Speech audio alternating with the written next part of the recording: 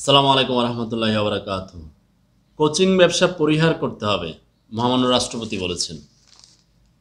কথা শুনবে? আপনার কি মনে হয়? আপনি কমেন্টে জানাতে পারেন। একেবারে সত্যিকার অর্থে খোলাখুলিভাবে যদি বলি, স্কুল কলেজের চাইতে কোচিং সুন্দর এক দাঁড়িয়েছে কোচিংয়ের শৃঙ্খলা এক দাঁড়িয়েছে কোচিংয়ে ব্যবসা দ্বিগুণ, এবং স্কুল কলেজের চাইতে কোচিং জনপ্রিয় এবং জমজমাট। এটা একটা রাষ্ট্রের জন্য সবচেয়ে ভয়ঙ্কর বার্তা। আপনি যে বললেন যে বাংলাদেশ উন্নত রাষ্ট্র উন্নত রাষ্ট্র, তো এরকম বোকা বাঙালি কোথায় আছে?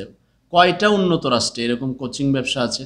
যদি আপনার জানা থাকে, আপনি কমেন্ট করে জানাবেন, আমরা জানতে চাই কয়টা উন্নত রাষ্ট্রে এরকম কোচিং ব্যবসা আছে। স্কুল কলেজে পড়ায় না। এখন তাহলে বাচ্চারা পড়বে কোথায়? ঠিক আছে, স্কুল কলেজ টোটালি শুধু সে স্কুলে পড়ে যায় আর কি। যাওয়া লাগবে, সবাই যায়, এরাও যায়। আবার কলেজে যাওয়া লাগবে, সবাই একটা ভাবসাব ঘুরবে টুরবে, একটু টাঙ্কি মাঙ্কি মারবে। নানান কারণে আর কি। ক্ষমা সন্তুষ্টি দেখবেন। এখন এই কারণে কলেজে যায়। তাহলে পড়বে কোথায় সে? হ্যাঁ পড়তে হবে কোচিংয়ে এখন কোচিংয়ে যে পড়বে, এমনি যে ছাত্রছাত্রী যে গার্জেন সে কিন্তু একবার স্কুলে বেতন দেয়। স্কুলে যাতায়াত খরচ দেয়। কলেজে বেতন দেয় কলেজে যাতায়াত খরচ দেয়। সে আবার নতুন করে কোচিংয়ের জন্য যাতায়াত খরচ এবং সেখানে বেতন, সেখানে সব কিছু দেয়। কেন? কয় একজন অভিভাবক কয় জায়গায় টাকা দিবে? এখনই কোচিংয়ের সাথে জড়িত কারা? কিছু। অসৎ শিক্ষক আছে। অসৎ বলছি কারণ এরা নীতি নৈতিকতার বাহিরে গিয়ে কাজ করে। সবাই না, শিক্ষকদের প্রতি সম্মান, শ্রদ্ধা, ভালোবাসা আছে। যারা অবৈধ নীতি নৈতিকতা ভুলে, নিজেদের মানদণ্ড ভুলে আপনারা অবৈধ পেশায় জড়িয়েছেন, এটা অবৈধ।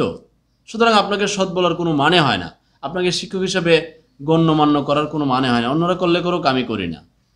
এখন এই যে চলছে, অবাধে চলছে, এখন প্রকাশ্য দিবালোকে বিভিন্ন কোচিংয়ের উদ্বোধনীতে বড় বড় লোকও যায় হ্যাঁ অনুষ্ঠানে যায়।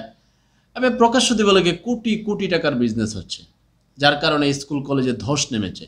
স্কুলে পড়ালেখা হয়, এটা যদি আপনি বলেন তাহলে আপনি ভুল পথে আছেন। বাংলাদেশে হয়তো কেউ কেউ কিছু সৎ শিক্ষক আছেন, যারা ভেতর থেকে মানুষকে মানবিক করে তুলতে চায়, নৈতিক শিক্ষা দিতে চায়, কিন্তু পরিবেশ নাই।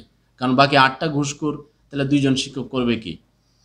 কলেজে আছে কিছু তারা হয়তো চায়, কিন্তু বাকিরা তো চায় না। পরিবেশ নষ্ট।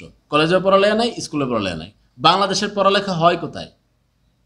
কোচিংয়ে। যদি আপনার দ্বিমত থাকে, আপনি কমেন্ট করে জানাতে পারেন। আপনি প্রত্যেক জেলায়, যে জেলা থেকে আপনি ভিডিও দেখছেন, আপনার জেলার অবস্থাটা কি বাস্তবের সাথে মেলে কিনা? মহামান্য রাষ্ট্রপতি যে কথাটা বলেছেন, এটা কি না বুঝে বলেছেন? ওনার কাছে খারাপ লাগে। নিশ্চয়ই তিনি খবরাখবর রেখেছেন যে কোচিং এখন কি অবস্থা? কোচিংয়ে তো পড়ালেখা হচ্ছে, কিন্তু মাগনা তো হয় না, পয়সা দিতে হয়। এখন যে গার্ডিয়ান আছে, যাদের এখন তাকে যদি কোচিংয়ে না পাঠায় তাহলে বাচ্চার মন খারাপ, কারণ তার সাথে সবাই কিন্তু কোচিংয়ে পড়ে। এখন সে একলা বসে থাকে, ফ্যানের ফ্যানের করব বা বাকিরা পড়ে, তো তো তারা পড়াইতে হয়, তোর বাকি টাকা আসবে থেকে তখন বাপ হয়তো সৎ পথে আছে, তখন আবার অসৎ পথে যাইতে হয়। টোটাল সমাজের অবস্থাটা এরকম একটা অসৎ পরিবেশ তৈরি হয়েছে, কেউ সৎ থাকা এখন মুশকিল হয়ে দাঁড়াইছে। আয়ের সাথে বেয়ে মিলে না, তখন সেও অসৎ হয়ে পড়ে। টোটালি অসৎ বাংলাদেশ হয়ে গেছে।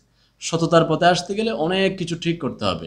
হাল ছেড়ে দিলে চলবে না, একসময় ঠিক হবে হয়তো বা আল্লাহ হাফিজ।